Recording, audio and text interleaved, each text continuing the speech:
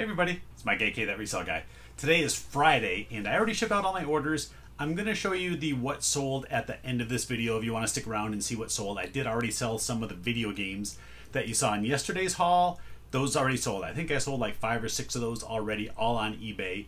So stick around for those. Today we're going over the sports stuff here. I went to another estate sale this morning. There's a lot of good stuff still sitting out in my trunk that I have to process, but I got to get done with all this stuff first. This stuff is more important to me. So yeah, stick around, watch the haul, watch the stuff that sold, and uh, all that good stuff. So let's go. All right, let's get going on this haul of fun stuff over here. We're going to start with the really fun stuff over here first, the non-sports stuff I picked up. I picked up all this Mortal Kombat Trilogy uh, collectible toys. These are made by Toy Island is the brand name. Uh, they, uh, I don't know if this is a complete set. There's five of them. So I got Sub-Zero, we got Raiden, Johnny Cage, Sonya Blade, and Liu Kang right there. Uh, they were all $8 a piece. I looked them up. They're going for about 20 to 25 bucks a piece. Uh, maybe a little more. There was a couple that were a little bit rare. I think Liu Kang and Johnny Cage look like they might go for 30. I'm not sure if I'll lot them all together. I saw one person had a listing like that where they had a bunch listed. I just think they'll sell better individually. Uh, you can see they used to have price tags on them, so they're not in the greatest condition, but still not too bad. Still on card. Uh, so yeah, like I said, I picked up five of those, so that was 40 bucks for the five of those. Next here, I also got this. This is a remote control uh, Humvee, it looks like. Got the remote back there. You can see it's never been out of the box. And we got the bonus Jax figure right here in the front. Still part of the price tag right there. I did pay 25 bucks for this, but from what I saw, they're going for like 60 to $75. So went ahead and grabbed that. A couple other Mortal Kombat toys. This one here, we got Goro versus Johnny Cage. This little special set. It was $18 for 18 bucks. I went ahead and got it. And then we got this one here. We got Raiden. This special little Spring Thunder or Spring Action Thunder Punch. Again, I looked it up there. I think again it was in that 25 to $30 range. So again, I just went ahead and got it for that price. Again, I love cool toys like this. Not everybody has these. This box is fairly beat up, but again, it's still going to sell and I think it's going to sell relatively quickly. I think we got one other non-sports thing, and everything else is sports here. So I went ahead and picked up this Mario uh, by Amiibo it was five dollars. You know, this is probably something that I can get ten dollars for in my booth. Booth. You can still see it's got someone's old Amazon tag on the back. I'll double check it, make sure they aren't selling for too much. But yeah, I'm just guessing I'm going to double my money going into my antique booth. And now we're going to get to the sports stuff. There, this guy was a Boston sports fan, so unfortunately, there's lots of Patriot stuff. I say unfortunately because you know they're the Patriots and either love them or hate them. Uh, picked up these two Sports Illustrated magazines. They were a dollar a piece. These are just going to go in my antique booth. I'll get like five bucks a piece for those. I thought this was really cool. This is just one of these things where you can see the, the three-dimensional shape inside the little glass cube. Got the helmet, the logo, and another logo right there on the stand. So that was only five bucks. You know, I figured this has got to be worth 50 to $20. This is one of the better items I had. I don't know if they realized that this was autographed or not, but that's Robert Kraft, the owner of the team. They had this marked $4. Now, the hat itself is a good hat. This is a vintage New Era hat. Got the New Era low profile hat. So yeah, I'm actually going to take this and authenticated. Uh, you know, I'm guessing it's going to be worth 50 to 60 bucks. Hats are a tough sell autographed, and that one doesn't show up real well. But some crazy Patriots fan will pay, you know, even if it's only $40, it'll still be good. Picked up this patch for a dollar. The New England Patriots Fan Club of Arizona. Never seen one like this before. Just thought it was cool for a buck. Picked up this mini hockey Stanley Cup. It was only a dollar. This is going to go on my booth. I've had these before, and I got like 8 or $10 for it. So, yeah, that's kind of cool. Next here, I didn't know what this was at the sale, so for $3, I opened it up. See if I can do this with one hand. Might have to go, oh, I think I got it. I think I got it. And look at this. It's a Tom Brady watch. I have no idea what it's worth. But for $3, heck yeah, I was going to buy that. All right, check this out. Have you ever seen any sports teams Rubik Cubes? I haven't. So this was there. It was five bucks. And yeah, it's really cool. So yeah, I got to look it up. I don't know if there's any out there, any comps to check, but Rubik's Cube of the Patriots, five bucks. This mini helmet was here. At the time, honestly, I didn't even know who signed it. It was $9. It was probably the lowest price autograph item they had. I don't think they figured that out either. After I got home and, and really looked it over, I could tell it was Kevin Youkilis and it does actually have the mounted memories COA on the back. And I don't know if you can see it, but like right here is an MLB hologram as well. So it's well documented that it's legit. So yeah, nine bucks, and you know I'm guessing thirty to possibly forty dollars for Keith or Kevin Youkilis. Uh, actually, I'm going to skip the wine. We're going to go to this right here.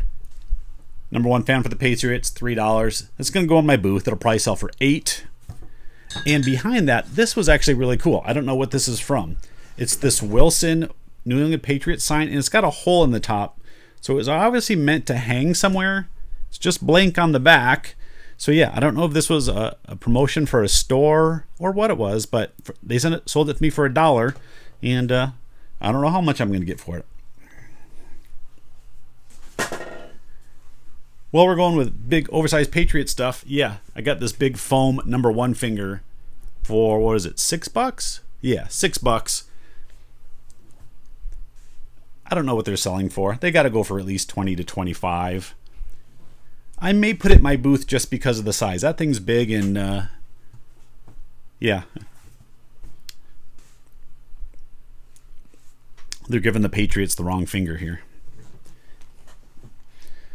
All right, let's go ahead and get to these bottles of wine that are back here. They had these three different bottles of wine. First up, I think this one's the best one because this is Curt Schilling Chardonnay, and he actually autographed the bottle right here. Uh, these bottles were all two, all 12 bucks. I don't know too much about wine. This is made in 2006. Then we got two other Boston Red Sox ones here. So this one here is Cl Red Sox Club Series Reserve. It's a 2012 Chardonnay from the Sonoma Coast. And then this one, what's this one? This one's 2011 Cabernet Sauvignon from the Alexander Valley. So you can't really find comps out on eBay because you can't sell booze out there. So I don't know what I'm going to do with these yet. I may post them local, see if they want it. Uh, yeah, I don't know, but those were just too cool to pass up for twelve dollars. Let me know down in the comments. Would you have, would you have picked those up? Now here's another thing that again, I just thought it was really cool. I'm hoping I can make some money on it. This is like a floating helmet. It does turn, and then when you plug it in, some lights come out of the bottom, and it lights up the helmet. Now it was 15 bucks, but I just thought it was too cool to pass up. I've never seen one like that, so so kind of neat. Then I got this Boston Red Sox banner. It has all the different team logos through the years. That was five dollars. I know this, you can't really see those when I get up close, can you? Um, I've had banners like this for other teams before, and they sell pretty easy for $15 in my booth. All right, now we're getting to the two bigger items of the day. First was the Tom Brady rookie card. This was one item that I saw in their promo pictures, and when the door opened, me and a couple other people were scrambling around trying to find where this card was. Now, I was a little bit shocked at what they had at price. They priced it at $49. So that's right probably about where this card is worth. It's selling anywhere from the high 40s up to the 70s, just depending on condition. I took it out of the holder and it does have a small little ding on that corner. Unfortunately, it's going to take it down. My guess if I were to grade it, it would probably grade a PSA 7. PSA 7s go for about 65 to 70 dollars so 49 dollars pay for the grading you're gonna you know that's about what you're gonna get. So pretty much i paid fair market value for that card but for tom brady cards i don't mind. I picked it up. It is what it is. Now here's one where i have a chance to make some money off of. There was one autographed photo of tom brady there. There is no coa on it. It is signed to lisa which was the the guy's daughter. Oh you can see me in there. Hi. Um, his daughter's name was Lisa. According to the people there, they said this guy used to wait in lines for autograph. That's how I got that Curt Schilling bottle of wine signed. That's how I got Robert Kraft's autograph. There were a couple other autographs there as well that I knew were good. I checked this out pretty closely versus other Tom Brady certified autographs. It looked pretty good to me. Generally, if somebody's faking autographs, they're not personalizing them to somebody. So I took a $50 risk on this. It's $49. I'm taking it today to my guy to drop off to see if I can get it authenticated. I'll know in about a week or so whether it passed. So I'm really hoping it does. Because, uh, yeah, $49, if I'm out that for a junk picture, that'll kind of stink, but I'm willing to take a $50 risk. All right, that's everything that I got at that sale. So uh, put down in the comments what's your favorite item? Did you like the sports stuff, the wine, or did you like the, the stuff from Mortal Kombat? All right, let's uh, slide over. Let's go over sales and get this video finished. All right, like I said, it was a really good last 24 hours of sales, mainly because I picked up all those video games. I had some really good sales on those. Uh, had a total of $497 in sales over the last day, so that's really good. Uh, I'm going to go over these kind of quickly, just kind of throw them in pop-ups here unless I think I want to say something about that particular item. I have them all up on my screen because, like I said, I already shipped them all out. They're already, eh, they're, they're still right there. They haven't gone to the post office yet. Uh, first up is this Super Mario Bros. 3. This is for NES. This went for $11.99 plus shipping. Now most of them I just charge five bucks shipping. I know it's probably gonna cost $3.50 to $4 to ship most of these little games, uh, but I just charge a flat $5. That way I know I'm covered uh, and gives me a little extra cushion to make an extra dollar on the shipping if I need to. Uh, next up, I sold that Thundercats. That sold really quick. I wish I could have sold this on Amazon because this set on Amazon uh, was the cheapest one was like 80 or 90 dollars. It was way too high. Unfortunately, over on eBay, they were going for about 30 bucks. I paid 15 for it, got 30, and it sold within a day, so I'm still pretty happy with that. Uh, I sold some of these horrible horoscopes cards from 1972. This was in the non-sport card haul I had from an auction a few weeks back. Uh, what did these sell for? These went for $7.99 plus shipping, so it wasn't real expensive. But again, I had a lot of fun going through these non-sports cards and just looking them up and reading them, and you know all that fun stuff. All right, next is a Super Mario Brothers. What is this called? Mario Advance 2 for the Game Boy Advance. Just the cartridge only. Now, this was probably one of the items I made the least amount of money and probably just breaking even. I paid $8 for this. I grabbed all the Mario stuff. I didn't want to look it up. The place was packed. I got $9.99 plus shipping. So yeah, after fees and shipping, I'm probably making a dollar or two, but that's about it. Now here's the biggest sale of the day and the one that was the best. I only paid $5 for this game. They actually have this one marked down uh, from the common games that they had out there. Looked it up, and this game sells really good. This is Godzilla for PS4. Now it didn't have the manual, so it was disc and case only. And eBay I had it for 139, and me and the guy kind of went back and forth on price a couple times. We agreed on 125 plus shipping. So yeah, five dollars to 125 in less than a day. So that was the best pickup I had from that sale. I did send it out with signature confirmation. Anything that's that expensive, I'm going to make them sign for, uh, especially with stuff like video games. I sold this Drueke cribbage board, if that's how you pronounce the name. Told you this was going to sell. I've picked up quite a few of these four lane cribbage boards in the past. This one was gorgeous. It looked brand new inside the box. $39.99 plus 10 bucks for shipping. It's exactly set up what I was going to get, 50 bucks. Next is a really cool Iron Maiden. Uh, it was Rock in Rio, a little two disc set. Uh, this was at the sale yesterday. Picked it up and it was two dollars at the sale because I think all all DVDs were two bucks or three bucks. Either way, two or three dollars. Uh, it sold for thirteen dollars plus shipping, and it actually went up to Canada. Next is a cool set of Speak and Spell and a Speak and Read. I just put the two of these together. Uh, I found them for two dollars a piece at the thrift store. Brought them home, tested them out. They worked pretty good. They were a little beat up, so they were you know they weren't the best quality ones that I've ever had. So that's why I bundled the two together, and I got forty nine ninety nine plus shipping for the pair. All right, this next one was another really good game that I got yesterday. This was Zelda, and it was like the Wind Walker. Uh, this one was for Nintendo GameCube. This one I got $49.99 plus shipping.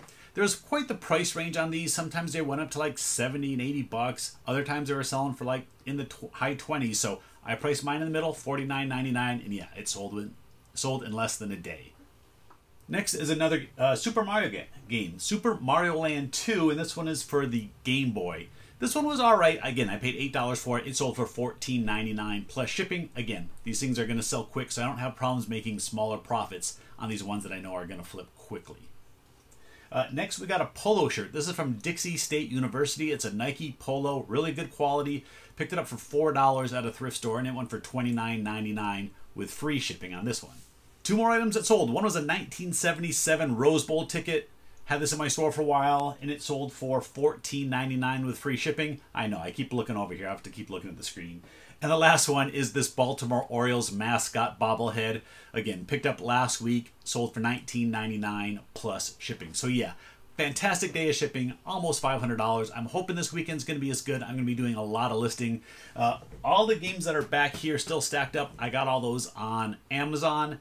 The ones that are going to be worth it, I'm going to cross list over to eBay. So if it's like $20 or more, I'll probably cross list it. And there's a handful of those, but there's a lot of them that are like 12 to $15 games as well.